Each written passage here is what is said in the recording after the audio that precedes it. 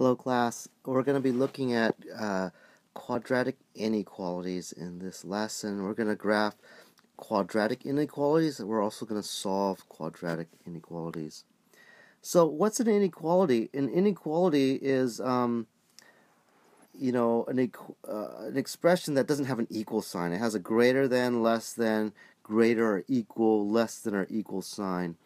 Now when we graph things, we're, we're creating a diagram which illustrates all the different points that satisfies an equation or an inequality. So if we have a, a linear equation, this line is saying every single point on this line, if we were to plug it into this equation, it would be true.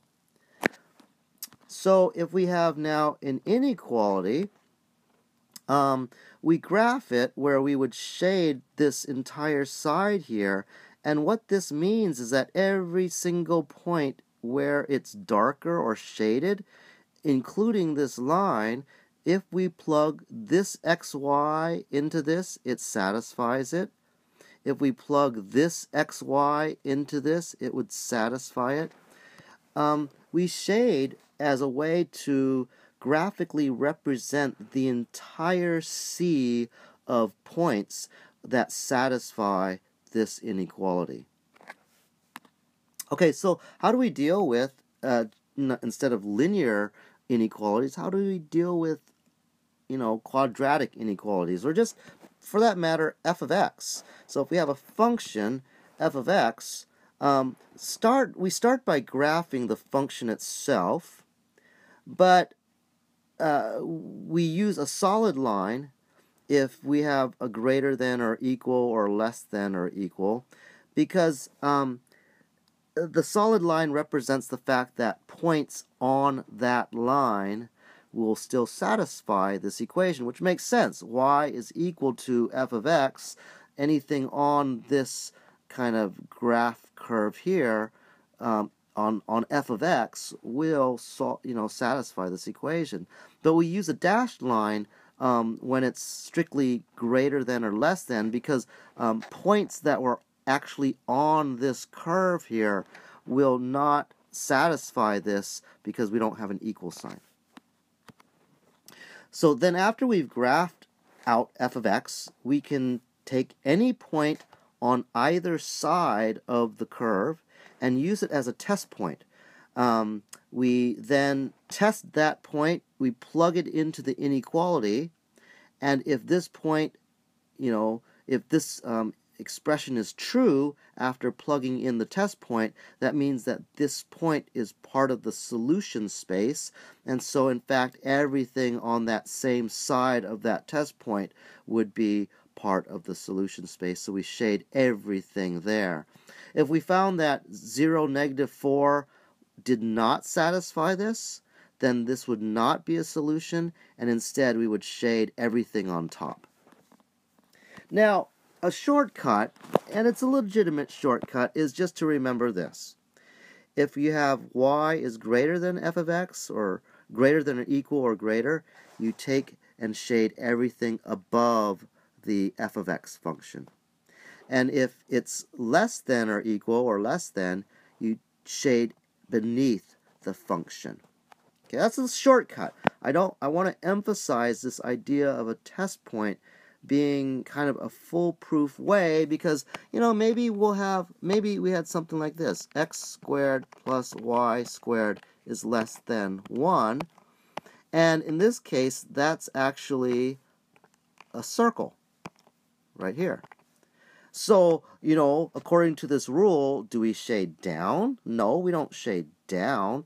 Um, it's more like do we shade inside or outside? And so, you know, the idea of taking a test point, you know, take 0, 0, plug it in, and if it's true, you shade. If I plug in 0, 0, I get, I get 0 plus 0 is 0, which is less than 1, so my test point of 0, 0 is true, so I shade everything inside. So that's why this test point idea to me is more fundamental. It's more of a, a concept that can be used everywhere, whereas this shading up, shading down, um, less powerful and and and you could forget it easily, or you can actually, you know, mistakenly do it backwards, you know. Okay, so anyways, um, let's do a few problems. Um, we have a parabola. This is in vertex form. Um, our vertex is at negative 2 comma negative 5. Oops, let me fix that up. Negative 5. Um, we have an A value of 3, so we have a stretch, a vertical stretch here of 3. So I'm going to go across by 1 and up by 3. That's my A value of 3. And I'm going to reflect this point across and draw a parabola. Now, because we have a less than, we don't have a less than equal, I'm going to use a dashed line.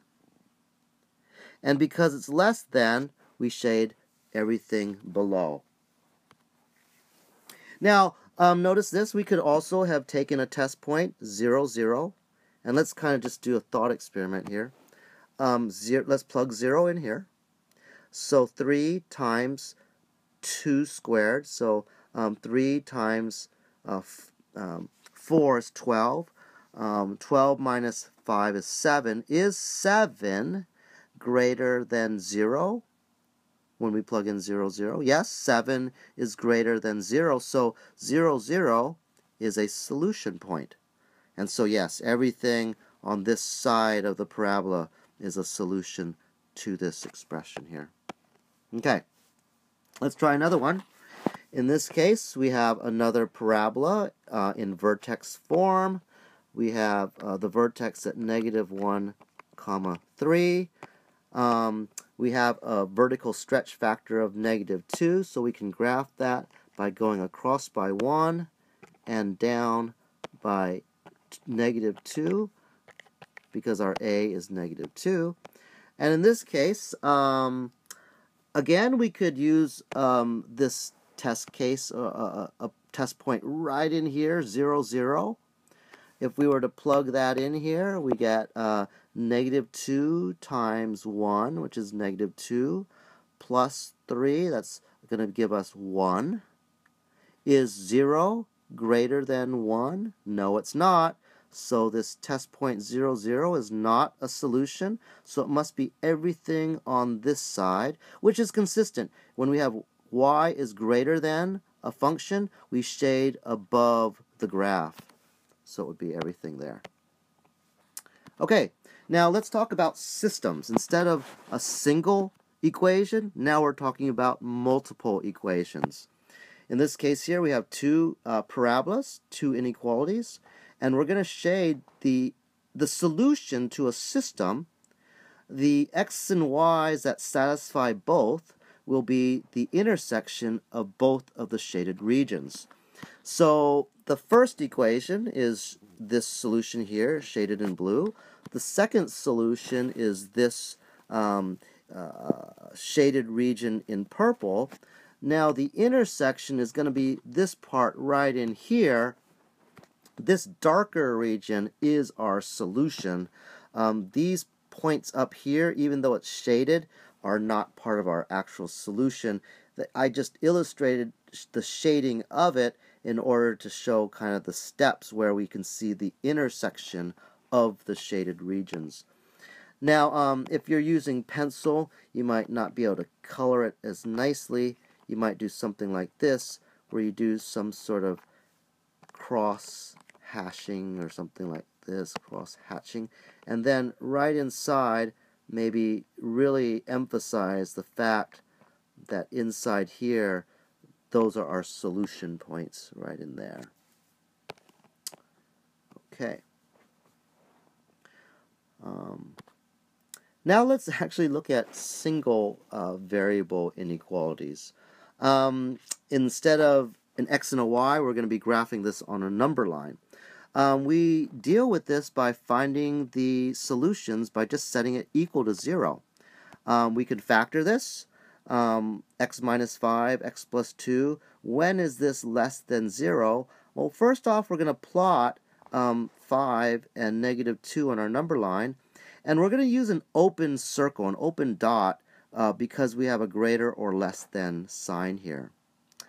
Um, now, we either need to shade the inside of this region or we want to shade both of the outs, outer pieces.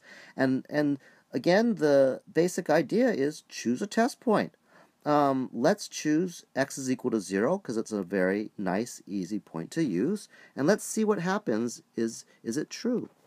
So we plug in 0 into this equation and we get 0 minus 0 minus 10, which is negative 10. Is that less than 0? You know, we have the 0 here. So this is true. Negative 10 is less than 0. So 0, x is equal to 0, is a solution so everything on the inside here, between those two open dots, are a solution as well. Uh, let's do one more. Um, now in this case, uh, we need to do a bit of work before we do any factoring or we try to solve it. We want to bring the 3 to the other side. And now we can go ahead and attempt to factor it. In this case, it is uh, quite factorable. And we have two solutions. We have a solution at 1 and negative 3. And in this case, we're going to be using solid dots because we have a greater than or equal. Because of the equal sign here, we can actually use the solid dots. Now again, is do we shade on the inside or do we shade on either of these sides here? Let's use a good test point of 0 again.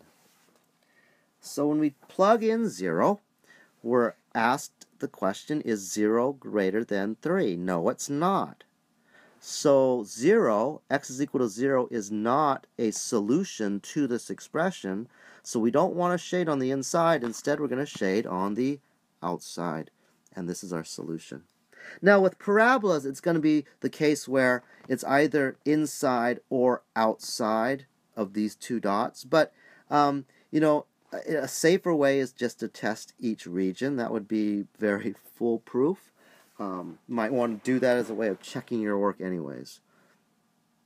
Now, lastly, I want to kind of give a different perspective of this same inequality. This is the same one, you know, uh, x squared plus 2x is greater than 3.